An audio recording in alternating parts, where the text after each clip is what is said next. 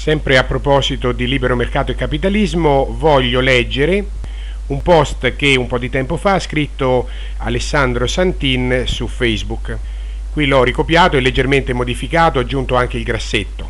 Riguarda il successo economico della Nuova Zelanda, che negli anni 50 era tra i paesi più avanzati del mondo, veniva dato intorno al terzo posto al mondo dietro Stati Uniti e Canada però nel 1984 era precipitato al 27 posto. Grande disoccupazione sopra l'11%, si era fatto de- deficit per 23 anni di fila, anche fino al 4% del PIL.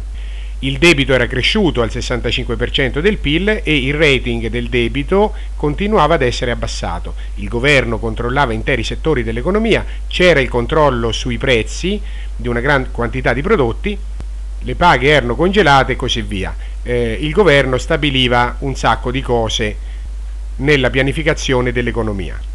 I sussidi all'industria sostenevano la produzione e i giovani emigravano in massa. Poi improvvisamente la svolta. Grande taglio di spesa pubblica, Dipartimento dei Trasporti ridotto da oltre i 5.600 o 5.500 dipendenti a eh, una cinquantina, corpo forestale lo stesso da 17.000 a 17 persone sole e lo stesso grande sforbiciata al Ministero del Lavoro, ma i posti di lavoro non furono persi, vennero privatizzati. Hanno venduto telecomunicazioni, compagnie aeree, assicurative, banche, ferrovie, hotel, compagnie navali.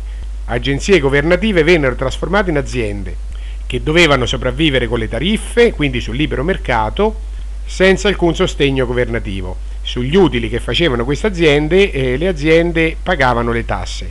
Queste aziende costavano un miliardo all'anno, ora producono un miliardo all'anno in tasse sugli utili.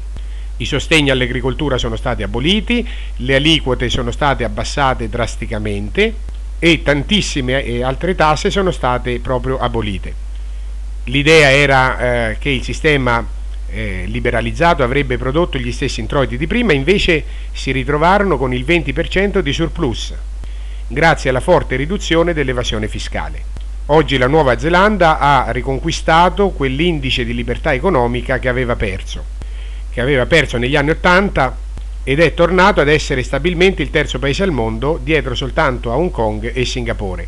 Oggi i giovani italiani emigrano in Nuova Zelanda, da noi invece si invoca più deficit e più spesa pubblica.